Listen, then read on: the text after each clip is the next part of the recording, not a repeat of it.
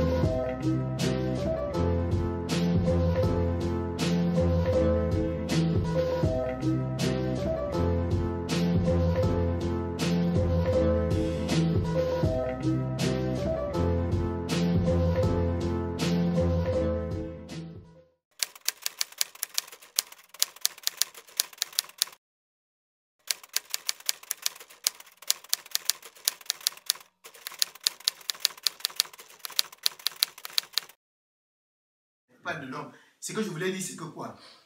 Est-ce que c'est pas la lumière qui vient nous donner la capacité de découvrir le mal qui s'est bâti en nous et de ne plus collaborer avec ce mal pour pouvoir retourner au Seigneur? C'est bien sûr la lumière. Voilà. Donc, est-ce que c'est pas. Parce que, puisqu'il dit que quand, sans la loi, je ne connaissais pas ce qui était le péché. Mais quand la loi est intervenue, c'est là où je réalise que le péché vit en moi. Mais cette capacité-là, elle est donnée par le souffle du Créateur, non? Mais c'est quel. euh, quel euh, comment dirais-je C'est-à-dire qu'il faut bien situer les, choses. Euh, quand il parle par la loi, qu'il faut bien comprendre qu'il parlait là de deux, deux, deux étapes ou deux Ouais. époques différentes. Donc, D'une part, il parlait de la, la mission Ouais.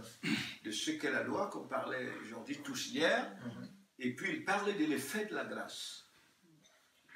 Tu comprends très bien, mais lorsqu'au moment où Paul est révélé dans le désert, on est pleinement dans la grâce, c'est-à-dire Ouais. les ressources inépuisables conférées à l'esprit de l'homme pour qu'il sorte la dépendance vis-à-vis du mal. Mhm.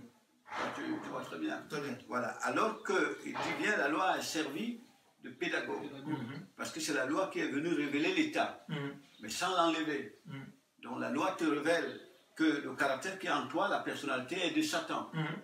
Elle est opposée au, au caractère du Créateur. Mhm. Bon. Mais elle te fait en même temps, elle t'annonce le besoin d'une libération Mhm. qui est venue par le Messie. Mhm. Tu vois bien? Donc c'est ça, c'est de ça que Paul parle.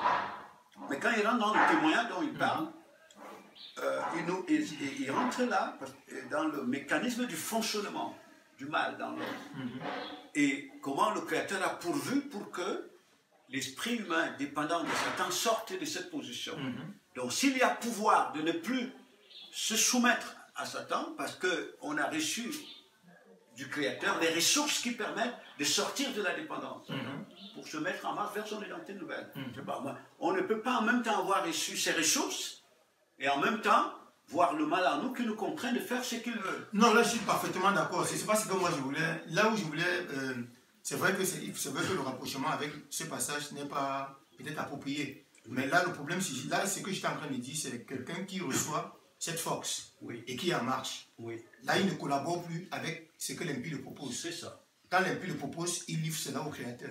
Et et à mesure, Ben, déjà, même c'est les ressources en toi exactement. qui s'opposent. C'est c'est- justement ce que Oui, je ce que tu reçois, parce que là, c'est vraiment euh, ces ressources du Créateur, c'est comment dire, ce sont des facultés qui permettent à l'esprit humain de pouvoir discerner ce qui est lié à son identité, à son héritage, et le contraire de ce que l'impie lui propose. Mhm. Vous voyez bien, donc la force de dire non à l'impie, parce que là, on dit bien, ce n'est pas toi.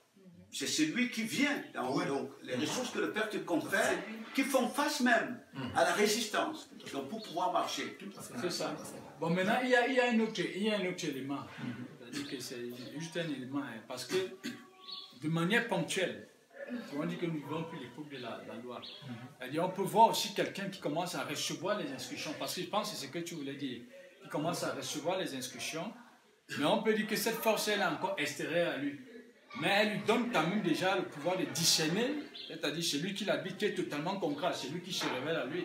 Et c'est où il peut aussi à un moment donné réaliser qu'il est incapable, c'est-à-dire de manifester le caractère de celui qui s'est révélé à lui.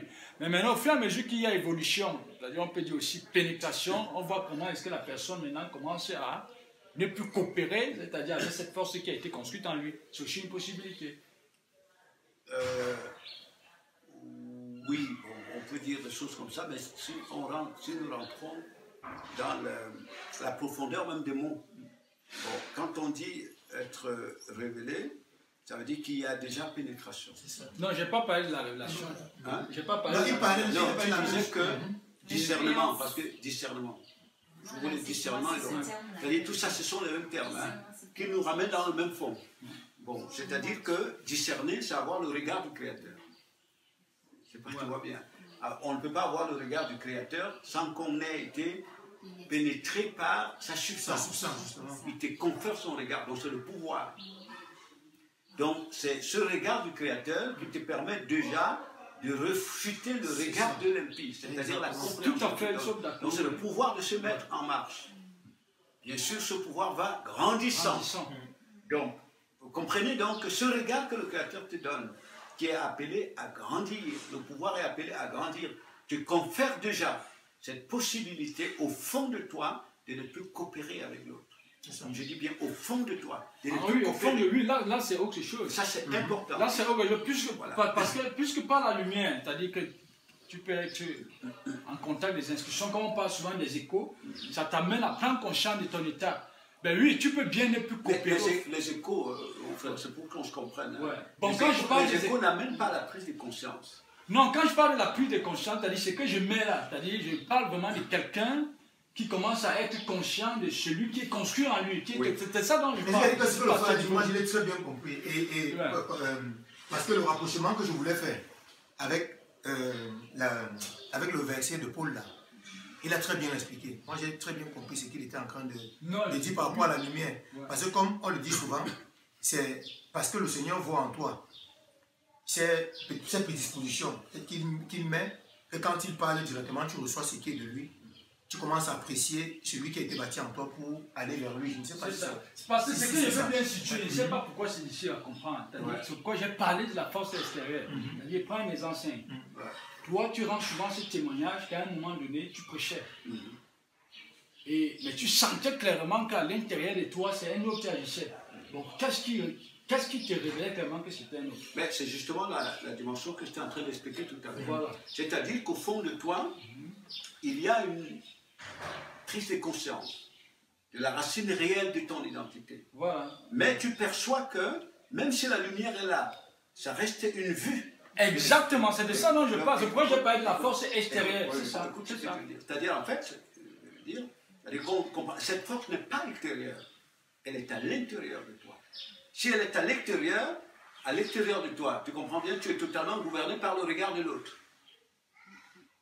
Je ne sais pas si vous comprenez ce Non, que je dis. comprends pas parce Oui, l'intérieur, que- nous, oui. Écoute bien, si, la, si la, ce qu'on appelle la, la lumière Ouais. venant du Créateur, elle est à l'extérieur, à l'intérieur de moi, je suis dépendant de l'autre. Et c'est totalement son regard qui domine. Ça. vois très bien. Totalement son regard qui domine. Donc, ce qui fait que lorsque euh, il, il, euh, je, je ne peux pas avoir conscience réelle de mon identité dans mon Père. Et donc, je ne peux même pas, au fond, porter comme un deuil lorsque l'autre s'exprime en moi. Parce que je le confonds avec moi. C'est ça. tu vois bien, très bien. Donc par rapport au témoin qui rentre très souvent, j'étais, moi, il y a des moments où je passais toute une nuit pleurant sur le sol. Parce que je réalise clairement que ce qui agit là, je ne reconnais pas dedans. Je ne sais pas, vous voyez bien. Donc je me, me reconnais dans mon père, même si, même si c'est encore comme une vue de l'esprit. Je sens que c'est loin de moi, mais je veux y aller. C'est ça le problème. C'est ça le problème. c'est là où- où je vais bien, là où C'est- donc, parce que tu as, tu as Mais dit c'est- quelque chose que c'est intérieur, c'est là le Oui, problème. oui, mais c'est Oh, intérieur. Je dis bien c'est intérieur. Ouais. Ça veut dire que c'est là où on parle de rupture, de, de- d'alimentation. Il faut que l'être à l'intérieur soit effacé. Parce que tu n'y coopères plus au, au niveau, euh, à- avec l'alimentation au niveau extérieur. Par exemple, que tu n'acceptes plus te retrouver dans la haine. Mais tu sens que cette nature-là, elle est là. Mais tu n'y acceptes pas. sais pas, vous voyez, c'est c'est là le, problème. Parce que c'est même là où tu rentres dans la prière réelle. Parce que ce que tu appelles, c'est tout, parce que tu comprends que ton identité, c'est dans ton Père, ce n'est plus dans l'autre. Vous voyez, c'est ça. Voilà. Il est impossible que, par exemple, tu te retrouves comme tu commences à. Comment Mais c'est ça. C'est ça, mais c'est ça. C'est ça. donc, donc, dans le fond, c'est ça. Or, vous voyez clairement que si la lumière est de l'extérieur, l'individu à l'intérieur a totalement le regard de l'autre. Il justifie même le mal. À à fait. Il Il, protège le mal. oui, Il protège il le mal. protège même, parce que c'est ça son intérêt. Ouais. Oui, parce que le problème maintenant, c'est sur Tchakeno. C'est la raison pour laquelle c'est très complexe. Quand on dit on est pénétré et que l'autre n'agit plus, c'est pour qu'il faut bien prendre la peine, c'est-à-dire de rentrer dans les explications. Oui, quand on dit l'autre n'agit plus, nous avons dit que la source, quand on dit la source d'alimentation, tu l'as d'ailleurs dit au départ, ça veut dire qu'il n'y a plus coopération volontaire Voilà. au fond de soi. Ça, ça. voilà. Donc, C'est comme ça. coopération volontaire avec l'autre. Quand tu imagines bien lorsque l'apôtre Paul, c'est de ça qu'il parle, hein. lorsqu'il dit que je ne prétends pas avoir atteint la perfection, mais je cours pour tâcher de la terre. Je fais une chose traitant durement ma chair, Voilà. vous voyez très bien, parce qu'il est vraiment en marque pour l'effacement total de l'autre en lui, mais je ne peux plus coopérer avec. Non. Tout à Non, fait, non, non. Parce qu'à ce moment, même pour traiter durement sa chair, c'est pas lui. Mais c'est cette portion du créateur Et c'est pour ça que c'est le souffle, Voilà. le Donc, souffle du créateur nous aide dans notre faiblesse. Par exemple, par exemple, quelqu'un, vous voyez quelqu'un qui rentre dans cette dimension, vous ne pouvez plus le trouver en train d'alimenter les conflits. Non, Vous ne pouvez plus le trouver Exactement. parce qu'il il ressent bien cette force agir, mais il, il n'y coopère Coopère pas. plus. Non, il peut même passer de à pleurer. il. Voilà. C'est ça. Délivre-moi. Je, je n'accepte pas ça. Parce qu'il ne se reconnaît plus dedans. Exactement, c'est ça. C'est là où on parle donc de. C'est extraordinaire. Je Oui. vois encore plus l'importance du Messie, en fait. Voilà. Parce que même avant, je croyais que même cette capacité de ne pas se reconnaître, Ouais. en fait, on pouvait l'avoir sans être pénétré. Non. Mais la capacité, la capacité de même, de même ne pas se reconnaître dans ce que l'Épine nous propose vient du Créateur. Donc c'est là qu'on va Tout ça, c'est la grâce. Tout ça, c'est la grâce. dans le Messie. Voilà. Parce que- parce qu'on dit que c'est le souffle du créateur qui nous aide dans Bien notre sûr, faiblesse. Parce que nous ne savons pas ce que nous devons lui demander. C'est lui qui prie. C'est c'est Elohim en nous qui s'invoque lui-même. C'est comme ça. Puisque c'est c'est- c'est cette portion qui nous communique, qui nous donne de nous, nous sentir à l'aise dans l'autre. C'est ça qui fait en sorte que nous sommes dans le deuil, parce qu'on va être libéré totalement de celui qui a été bâti en nous. Et ça permet même d'être, euh, d'avoir la patience, la compassion pour des personnes qui sont même pas, n'ont même pas encore été en contact avec euh, les instructions. Quoi. C'est ça. De- Des fois, on a tendance à se demander pourquoi, pourquoi être être impatient. C'est ça. Alors que quand, moi, quand j'entends ça, ça me permet de, de comprendre l'état en fait de l'humanité. C'est ça. Bon, mais maintenant, parce que revenons un peu sur ce qu'on partageait tout à l'heure, hein, pour que je comprenne un peu très bien, sur le témoignage de l'apôtre Paul, Ouais. sur son témoignage. Ouais. Est-ce que, euh, et quand on dit, peut-être quand il dit que, quand je ne connaissais pas la, euh, quand je ne connaissais pas la loi, euh, pour moi, je ne connaissais pas ce que c'est que le péché. Oui, C'est pas- oui, oui, c'est ça. Oui, bon maintenant, quand on parle de la loi, on parle du Créateur. C'est ça, non? Voilà, donc on peut le voir peut-être encore peut-être aujourd'hui, quelqu'un est totalement plongé dans l'ignorance et que le Créateur s'appuie sur lui pour révéler, pour clarifier les, les, les voies de la vérité. Ouais. Pour clarifier voies de la vérité. Est-ce que celui-là, en ce moment, il est en face de la loi, non? Non, je pense que. On peut euh, voir ça comme ça. hein? Non, je pense qu'il faut bien voir, même dans le, le témoignage ou le, le parcours Oui. de, de ce Paul, Mm. on dit bien que Paul, euh, entre guillemets, était Mhm. docteur Ouais. de la loi. Ouais. Tu vois très bien, docteur de la loi. Mhm. Bon, Donc, euh, il avait, on peut pas, quand il dit, quand je ne connaissais pas la loi, euh, ça ne peut pas, c'est-à-dire que ça, ça ne peut se, comment dire, il, fait, il ne fait allusion que à, au moment où il était en, en dehors de l'intelligence réelle de la loi, selon le Créateur. Mhm. L'intelligence réelle de la loi. Exactement. Bon, parce qu'au moment où il a la loi, il est comme docteur de la loi, supposé même transmettre la loi aux autres, mais séparé de l'intelligence réelle de justement ça oui. il avait une fausse compréhension de Oui. ce qu'est le péché. C'est ça. Très bien, bien. Alors que la, la loi, lorsqu'elle est donnée au peuple, Mhm. nous avons dit, elle révèle au peuple l'identité du Créateur. Et donc, son état. Donc, son égarement. Ouais.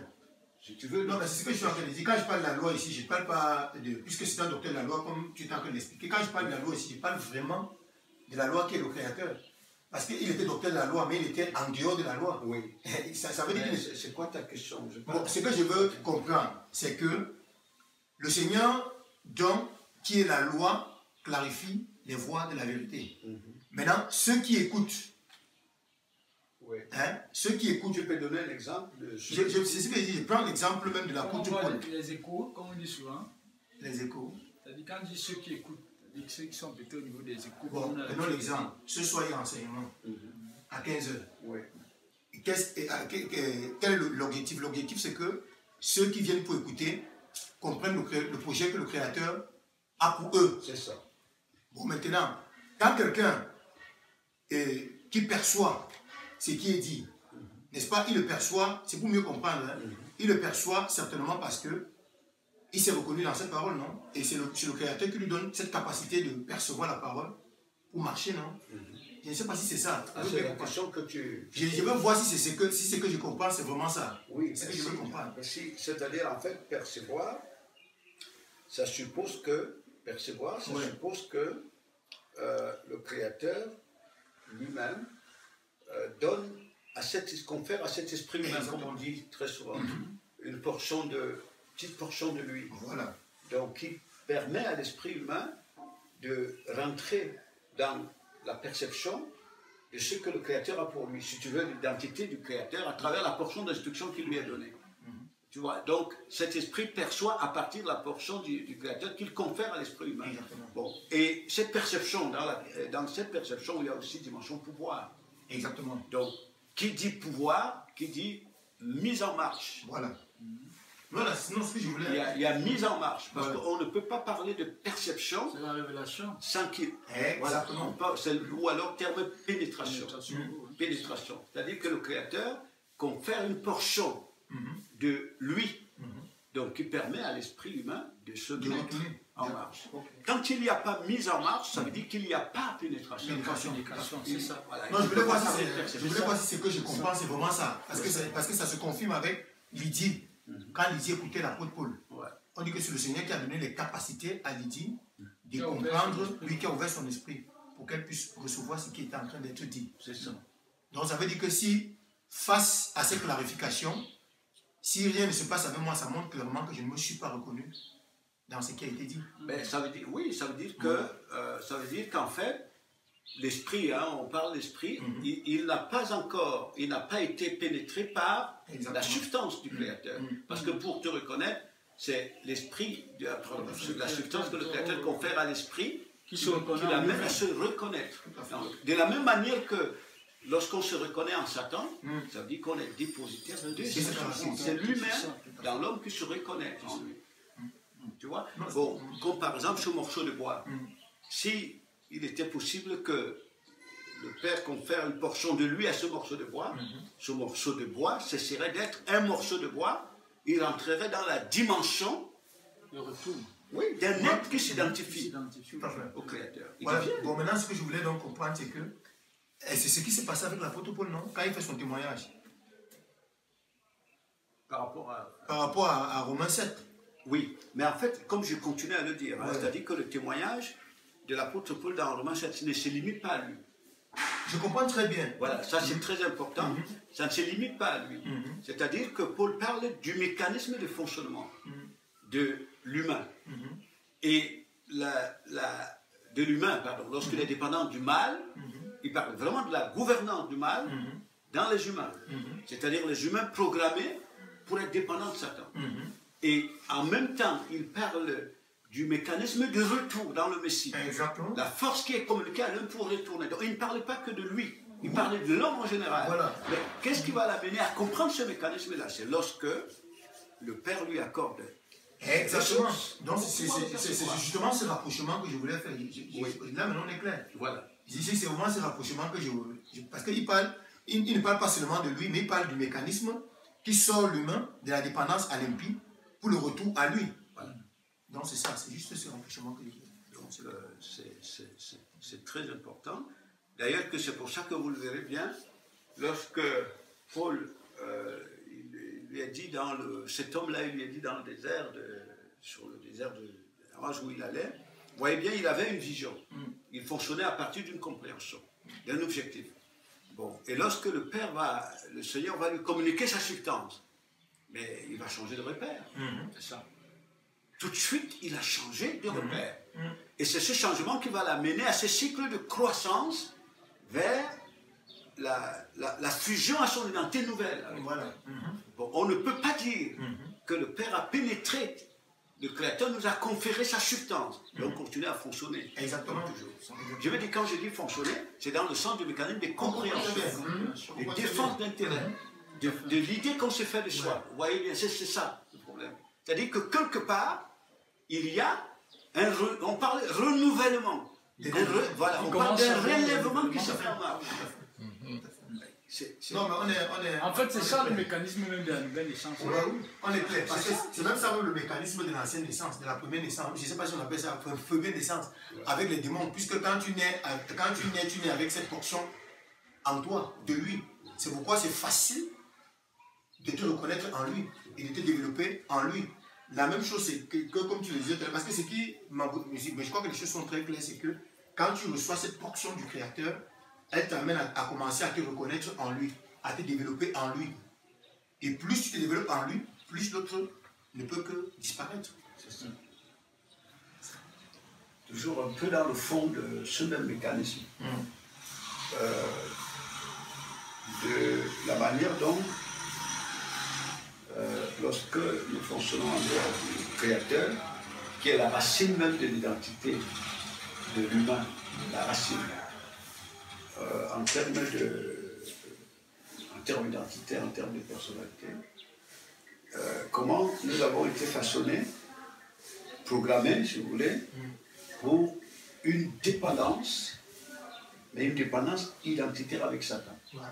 Parce que c'est de ça même que nous sommes en train de parler, une dépendance identitaire avec Satan. Dépendance qui dit per- identité, dit personnalité. Bon, cette dépendance fait en sorte que nous sommes Satan, il est nous. Ouais. Eh bien, C'est-à-dire qu'en fait, c'est c'est lui, lui qui pense, Ouais. c'est lui qui comprend. Donc, euh, c'est, c'est- c'est- c'est- nous, nous sommes euh, porteurs de sa personnalité. Personnalité veut dire, euh, euh, une personnalité, euh, c'est une somme de caractéristiques Ouais. qui constituent une personnalité. Donc, ces caractéristiques, en réalité, dans la base, euh, ayant pour essence la personnalité de. Donc, en somme, c'est lui qui s'exprime. Vous voyez bien, donc c'est cela. On a été programmé pour cette dimension, cette dimension dépendante. Alors, nous disions qu'en fait, cette, euh, ce fondement de l'identité de l'homme, Satan le pense à partir du Créateur. Parce que quand on voit le Messie, c'est-à-dire il copie, il copie bien le fondement de l'identité que le Créateur a pour l'homme. Quand on voit le Messie, le Messie est dans la dépendance identitaire absolue à son Père.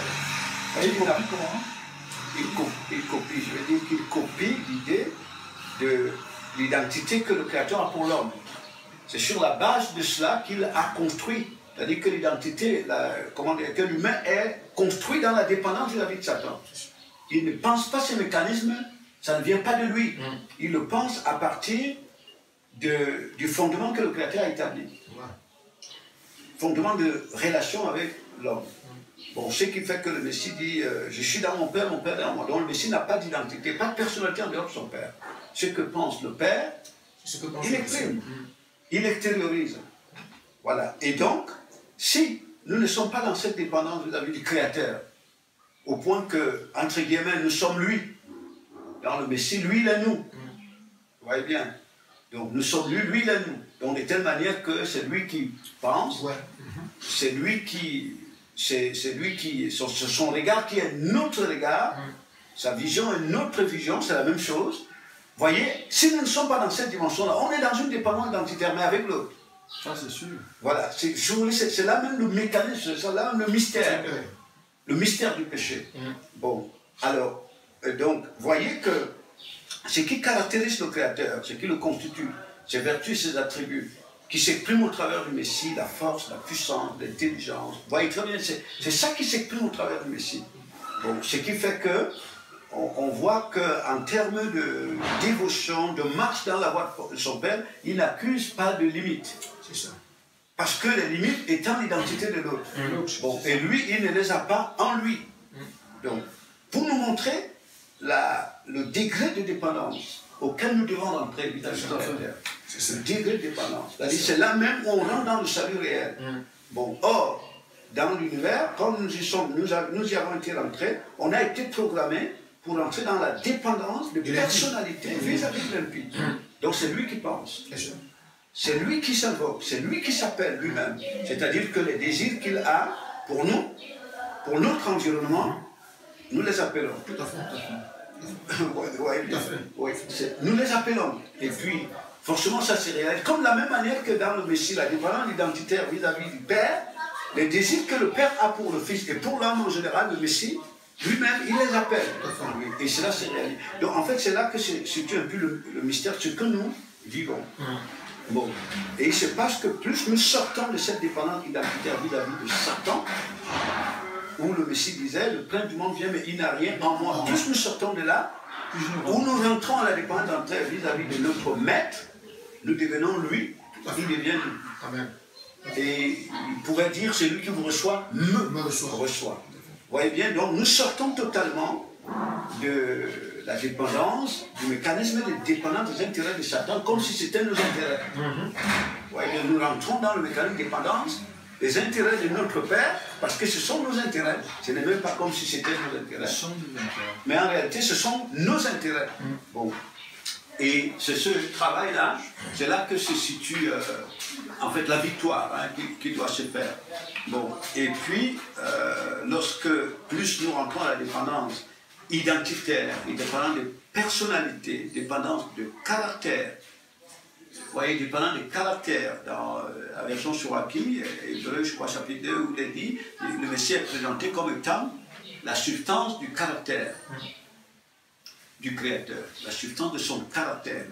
Parce que le caractère révèle l'identité d'un individu, révèle la personnalité d'un individu. Vous voyez bien, le, caractère se réfère toujours, on dit très souvent, tel à la force du caractère. Il a un caractère fort, il a une personnalité forte. C'est-à-dire sa personnalité se révèle devant ce que, que la personne se révèle devant les situations. Donc on voit bien la personnalité du Créateur qui est mise en évidence au travers du Messie. De, de plusieurs manières. hein. C'est-à-dire que par, euh, de plusieurs manières, par euh, le fait que, comme le Père voit, il voit. Le discernement du Père est son discernement. Vous voyez bien, euh, la patience du Père, ce qui caractérise le Créateur devant les situations, la puissance du Père, c'est son, son caractère. C'est ça qui, c'est ça qui devant les situations, devant les, les, les événements face auxquels il se retrouve. Bon, maintenant, quand nous sommes hors de cette dimension-là, où nous sommes dépendants de l'autre, on est totalement sa protection.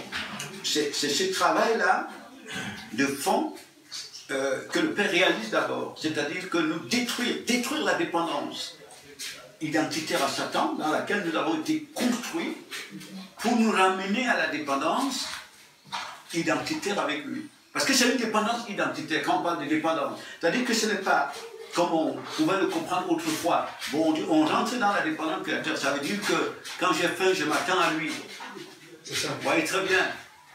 Voilà, quand j'ai faim, je m'attends à lui. Donc je dépends de lui. C'est lui qui va me donner ce dont j'ai besoin. J'ai besoin d'une bouteille d'aujourd'hui, c'est lui qui va me donner. C'est-à-dire ça va bien au-delà. On rentre dans une dépendance identitaire. C'est-à-dire que ce qu'il pense, c'est ce que j'exprime, ce que je pense. Sa vision, c'est la mienne. Vous voyez bien, sa réaction, c'est la mienne devant une situation. Je n'ai plus tout simplement de personnalité hors de lui. Et c'est lui qui s'exprime. C'est ça. Mais non, en fait, je voulais mais j'ai bien compris ce que tu dis. Je sais que tu maîtrises bien les thèmes de quoi tu parles, mais je dis, et je pense qu'il serait beaucoup plus précis de dire, c'est la dépendance de, c'est-à-dire l'autre entier dépendant de le créateur qui détruit la personnalité de l'autre. Parce que quand on parle de dépendance, il y a cette dimension de construction, d'identité. Parce que c'est la construction du caractère du créateur qui détruit la, la personnalité de l'impie. C'est-à-dire que ce n'est pas la personnalité de l'impie qui est favorable à la construction. Non, parce que c'est plutôt le créateur qui vient réaliser ça. non. Parce que l'esprit humain en lui-même ne peut pas être déconstruit dans le mal. C'est le créateur qui vient déconstruire l'esprit humain dans le mal. C'est bien ce que j'étais en train de dire que c'est-à-dire qu'avant que le Créateur ne nous amène à la dépendance de lui, il y a une dépendance dont nous sommes l'objet. Cette dépendance identitaire, elle est vis-à-vis de la personnalité de Dieu. Donc le travail qu'il y a à faire, ce que j'appelle programmation. On a été programmé. Et quand on est dépendant de on fonctionne comme des robots, comme des objets. C'est-à-dire que nous sommes des sujets d'information. En réalité, qui informent sur ce qu'est Satan Ouais. sans que nous en soyons même conscients. Ils informent. Donc, on peut comprendre que certains ingénieurs au niveau humain qui œuvrent pour la construction de cette dépendance de l'humanité à Satan savent clairement ce qui se passe.